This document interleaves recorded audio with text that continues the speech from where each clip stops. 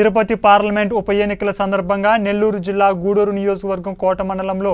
vote హక్కును వినియోగించుకున్న కోవూరు శాసనసభ్యులు Nallapareddy Prasanna Kumar Reddy Covid నిబంధనలు పాటిస్తూ సామాన్య ప్రజలతో పాటు క్యూలైన్లో నిలబడి ఓటు వేశారు